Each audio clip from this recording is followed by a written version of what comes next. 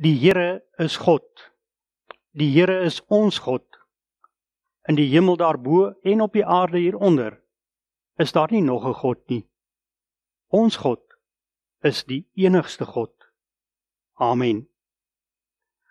Geliefdes, genade, vrede, liefde en krag vir julle almal van God ons Vader, van Jesus Christus wat opgevaar het na die hemel en van die Heilige Gees wat in ons woon.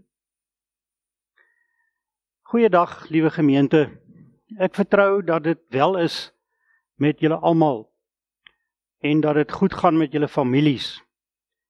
Baie welkom by hierdie besondere Hemelvaartfees, Hemelvaartdiens. Vanjaar op 'n besondere manier mag dit vir jou tot seën wees. Kom ons buig in gebed voor die Here. Here, ons Here, wanneer ons ver oggend vandag so voor U neerbuig, dan is dit in dankbaarheid. Dankbaarheid omdat U ons God is. Omdat U die enigste is wat vas staan deur die geskiedenis elke dag selfs in die toekoms in. Dankie dat ons met daardie sekerheid ook kan terugdink aan 'n hemelvaart, aan 'n bevestiging van Christus se werk wat volkome was. Wil U dit vir ons in hierdie tyd vandag en die dae wat kom, in die jaar wat voorlê, opnuut nuut maak in ons lewens. Seën dan nou ook ons oordeenking van die woord. Ons bid dit in Christus se naam. Amen. Liewe gemeente, die tema van hierdie diens is Jesus Christus ons waarborg. Mens sou dit ook kon sê Jesus Christus ons seën. Ek sal net nou meer daarop uitbrei. In ons kerkjaar is daar 'n hele paar geloofsfeeste. Ons praat van Kersfees, ons praat van Paasfees, van Pinksterfees.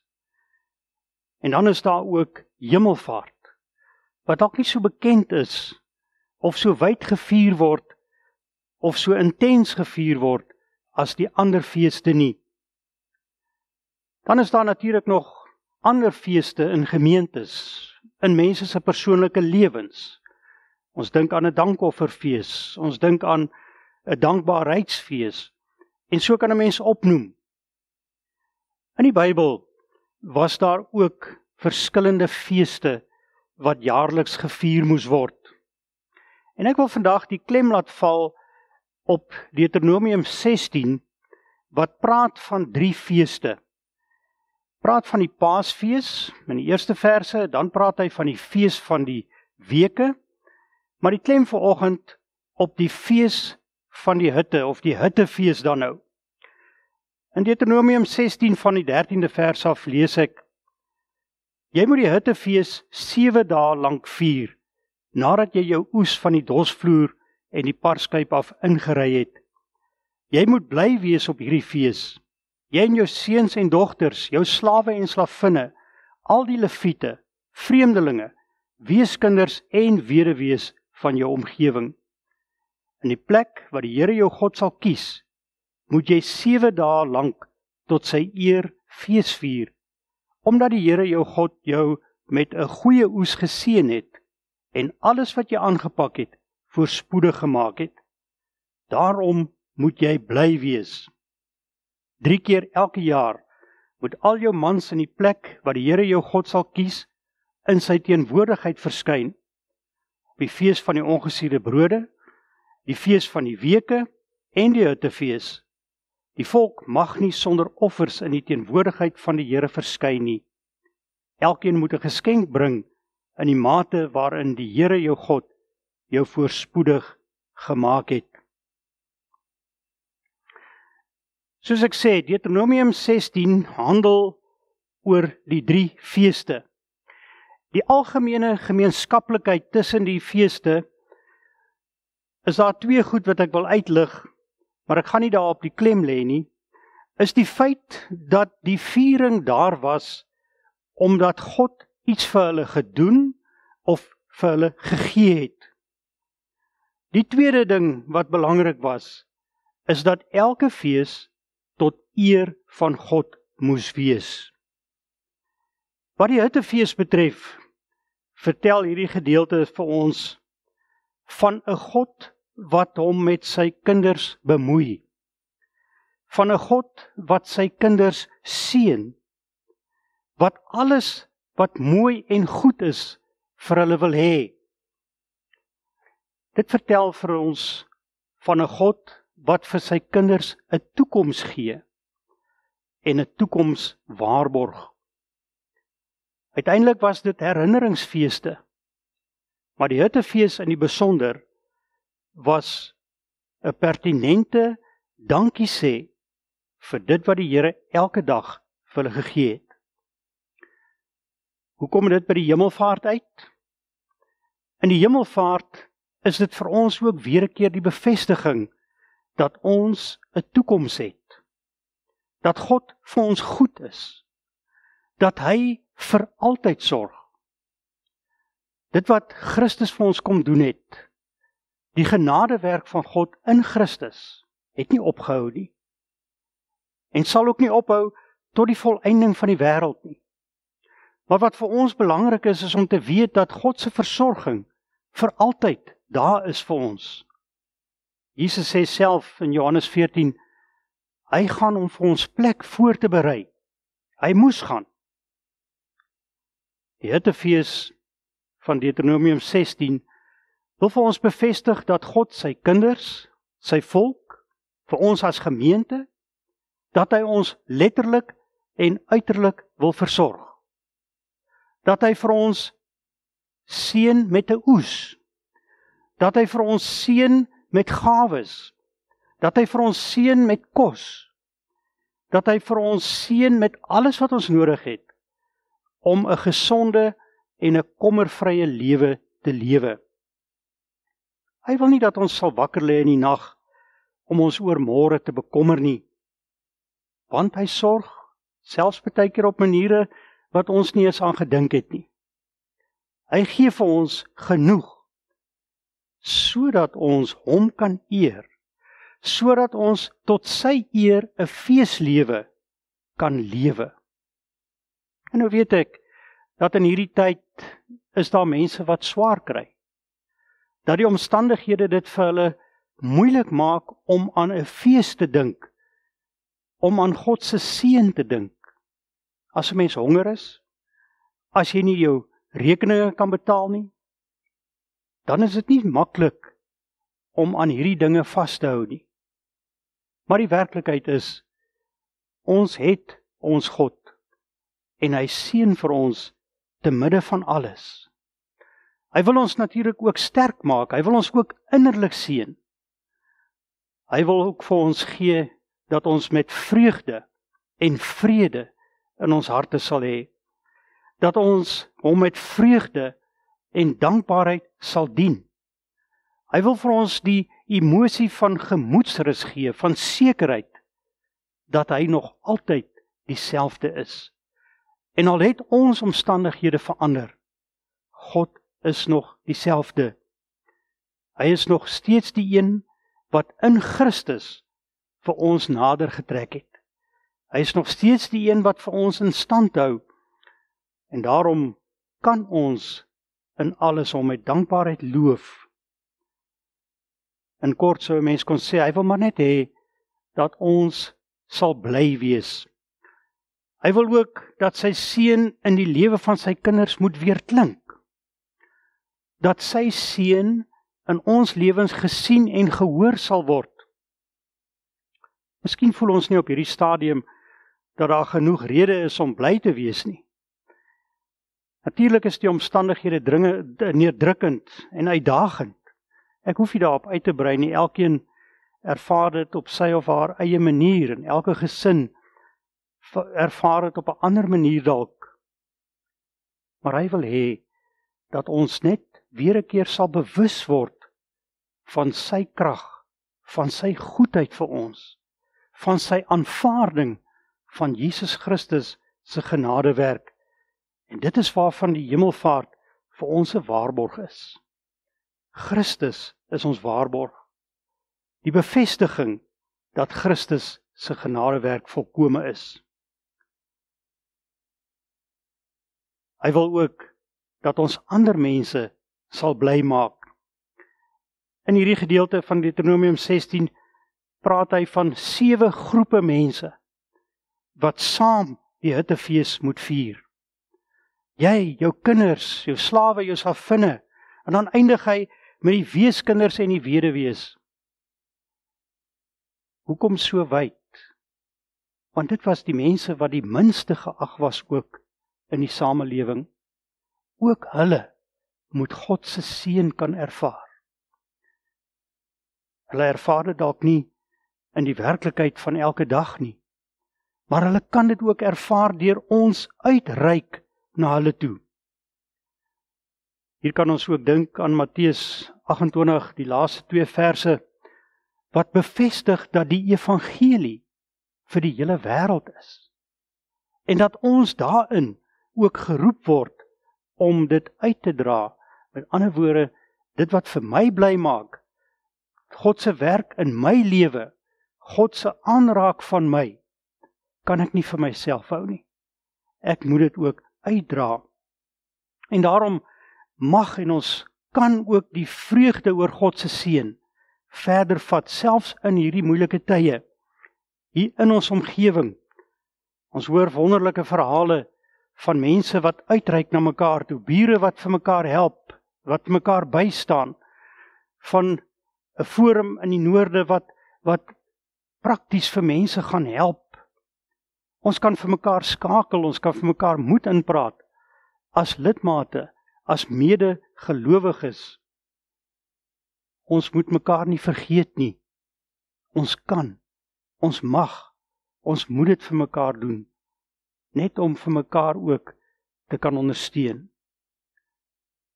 Dit omdat God se seën aan ons moet ook 'n seën word vir die wêreld daar buite, vir die omgewing waarin ons woon. Maar die wonderlike is natuurlik van hierdie gedeelte ook God se sorg is nie eenmalig nie en daarom is dit 'n 7 dae lange fees. Simbolies ook daarvan dat God se sorg aanhou en aanhou. Weer 'n keer Matteus 28 vers 20 waar Jesus sê Ek is by julle al die dae tot die volëinding van die wêreld. Een van die dae vier ons die Pinksterfees.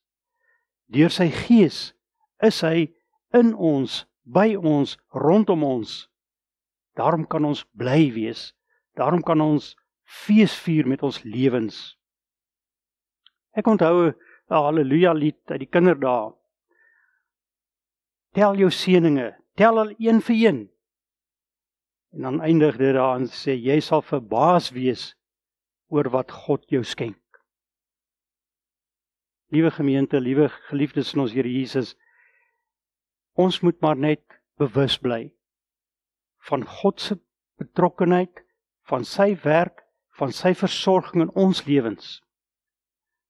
En dit nie vir onsself hou nie, sodat ons dit ook kan uitdeel, sodat ons dit ook kan uitdra in alle tye van ons lewe. Daarom kan ons ook bly wees. Daarom kan ons ook dankbaar wees en daarom kan ons dit ook met mekaar deel. Eintlik wil ek dit so sê. Mag die hemelvaart jou aanspoor tot 'n feeslewe. En nou moet jy mooi hoor wat ek sê, wat ook ander sal aansteek. Ons is so bang vir aansteek op hierdie stadium vir 'n virus wat ons lewens kan bedreig. Maar dit is wat ons ook vir mekaar moet doen met God se seën. Ons moet mekaar aansteek met vreugde, met vreugde. Met vrede, met dankbaarheid. Met God se gawes vir ons. Mag jy dit ook werklik ervaar. Amen. Ons bid saam. Dankie Here vir u goedheid. Dankie vir u genade wat vir ons genoeg is. Dankie vir u versorging, vir u seën. Dankie dat u vir ons styf vashou. Dankie dat u vir ons elke dag daar is. Maar Here, daar is so baie mense wat swaar kry in hierdie tyd. Daar is mense wat honger het. Daar is mense wat nood het. Daar is mense wat siek is. Daar is mense met ander krisisse wat hartseer is, wat bekommerd is. En daarom wil ek dit maar net in u hande kom neerlê. En vra Here dat u vir elkeen sal aanraak, weer bewus sal maak van u seën in ons omstandighede. Ons dink aan soveel goed wat rondom ons gebeur, aan die skole wat moet heropen, aan die universiteite, die tersiêre inrigtinge. Ons wil elke personeel dit aan U opdra, maar ook elke student, elke werker wat al reeds werk. Ons dink aan die gesondheidspersoneel, aan mense wat in die voorste linie hierdie dinge moet in die oë kyk, maar ook vir mense wat behoefte het wat behoefte het aan hulle families waar hulle siek lê in hospitale. Dankie dat U ook gee dat van die personeel vir hulle soos 'n familie word. Dankie dat ons ook ons gemeente aan U kan opdra. Dankie Here dat ons elke lidmaat in hulle omstandighede maar net aan U kan kom neerlê. Ons dink aan ons land. Ons dink aan die wêreld. Gee Here dat dinge weer eers spoedig tot normaal sal terugkeer. Gee vir ons wysheid en insig Maar bo alles gee vir ons vrede in hierdie tyd. Ons bid dit in Christus se naam. Amen. Die lied wat ons aan die einde na die seën uitgespreek is gaan na luister is 'n gebed om vrede. Maar wat ek wil hê is dat wanneer u daarna luister dat u dit u persoonlike gebed sal maak maar dat ons ook sal bid nie net vir wêreldvrede en gemeenskapsvrede nie, maar ook vir innerlike vrede. Maar ons sou dit ook kon toepas deur te bid dat God vir ons oorvloedig sal seën met al sy gawes. Ontvang die seën van die Here. Die ewige God is 'n skuilplek. Sy arms is altyd onder jou. Amen. As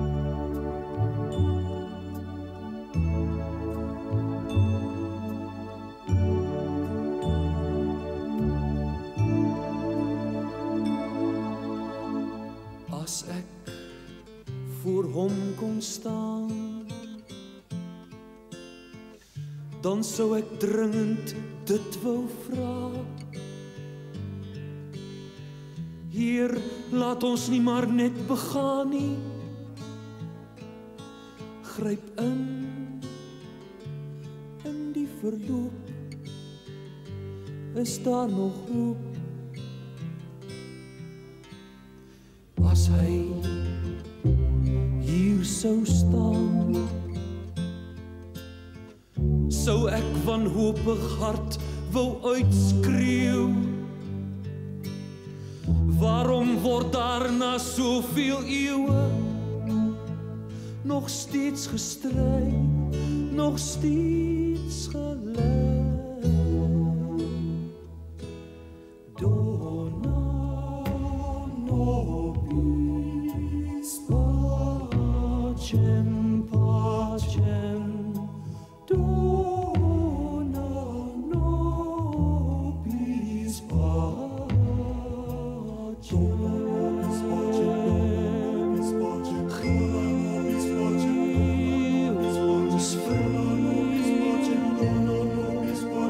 Rio.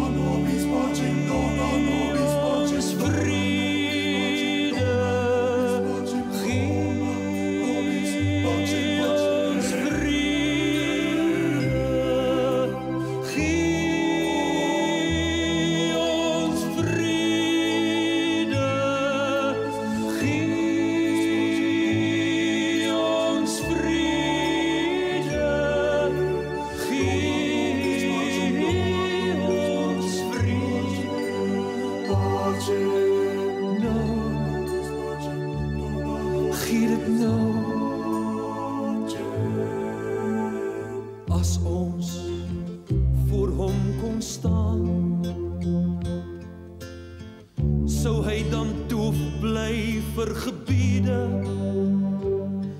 wat smeek sedert die tuin van Eden.